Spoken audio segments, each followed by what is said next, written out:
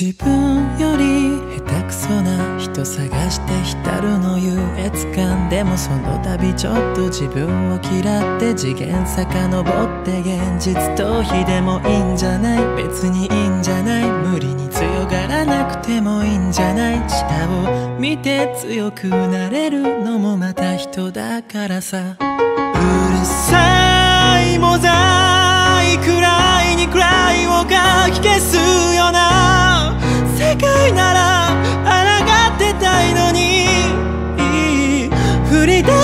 空の鳴き声は透明でわかんない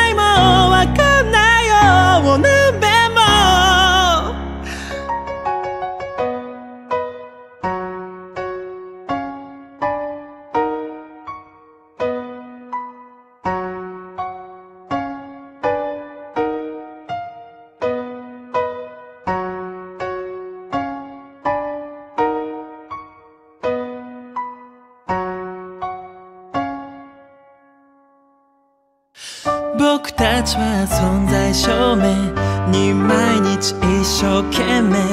でこんな素晴らしい世界でまだ生きる意味を探してる。そりゃそうだろうだって人間は希望なしでは生きれないからさ。みんな心のどっかで。来世を。信じてる。